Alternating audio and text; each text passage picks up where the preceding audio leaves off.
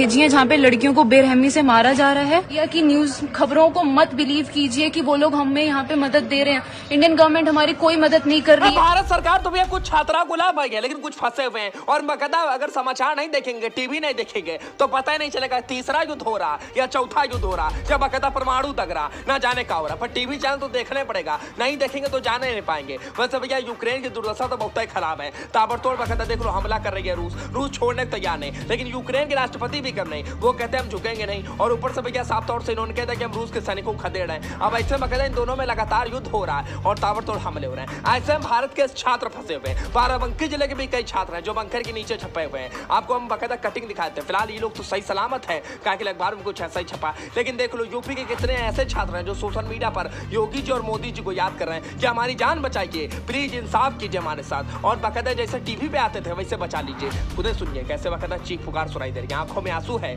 और बस बकायदा जान बचाने की गुहार लगाई जा रही है। मेरा नाम गरिमा मिश्रा है, मैं यूपी लखनऊ से हूँ। टाइम के बाद हमने सोचा कि हम यहाँ से निकलते हैं और हम यहाँ से किसी तरह निकलते हैं बाई ट्रेन क्योंकि हम बाई ट्रेन निकले या फिर हम बसेस निकले कार से निकले।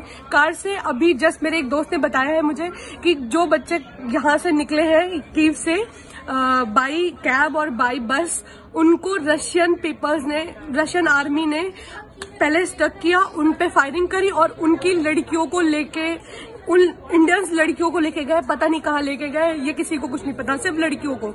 और लड़कों का कुछ पता नहीं है। सेकंड थिंग ये रोमानिया बॉर्डर में अभी हमारे हमें वीडियोस मिल रही है।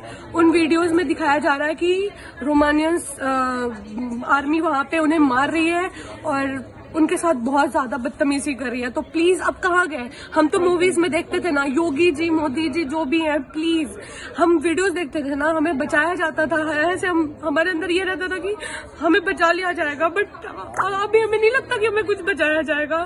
शायद पता नहीं हमारे साथ क्या हो। प्लीज़ गवर्नमेंट आप जो भी हो, जहाँ भी हो प्लीज़ हमें आगे बचाओ। या फिर आप प्लीज़ यहाँ पे बाई एयर कुछ भी भेजो। इंडियन आर्मी को यहाँ पे प्लीज़ भेजो। तभी शायद हमारे साथ कुछ ऐसा हो सकता है कि हमें हम बच सकते हैं बाकी हमें नहीं लगता कि हम यहाँ पे बचेंगे या फिर हम यहाँ से कहीं जाना हमारे लिए सेफ़ है। आगे एक और छात्र का वीडियो देख लीजिएगा। इंडियन एमएससी में फ़ोन करे थे इनका फ़ोन रिसीव नहीं हो रहा। ये बहुत परेशान हो चुकी हैं और कहा होता है सब जने डरे हुए दहशत में हैं हाहाकार मचा हुआ है। यूक्रेन में भारत के छात्र फंसे हुए हैं। करे तो क्या करें? वीडियो सोशल मीडिया पर वायरल कर रहे हैं। ये आप क्या कर रहे हो? इंडियन एम्बेसी में ये इनका नाम दिखा देते हैं आपको। Vikram Kumar.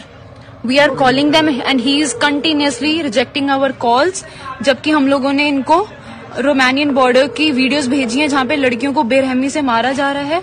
और इन्होंने अभी दोपहर में ही हम लोगों को बोला है कि कीव के बच्चे जितने भी निकल पा रहे हैं ट्रेन से निकल जाएँ बॉर्डर्स पे इस हालात में हम लोगों को गाइडेंस देने के बजाय ये लोग हमारे कॉल्स कट कर रहे हैं and they are completely ignoring us सारी कंट्रीज़ की सारी गवर्नमेंट्स ने उन लोगों को निकाल लिया है but Indian government is doing nothing for us they are saying they are evacuating the Indian citizen from border the border is 800 kilometres from our current location how are we as a student suppose to reach those borders आप जितने भी parents हैं, जितने भी लोग हैं India के, हम लोगों को सुन रहे हैं, हम लोगों को देख रहे हैं, आप प्लीज़ इंडिया मीडिया की न्यूज़ खबरों को मत बिलीव कीजिए कि वो लोग हमें यहाँ पे मदद दे रहे हैं।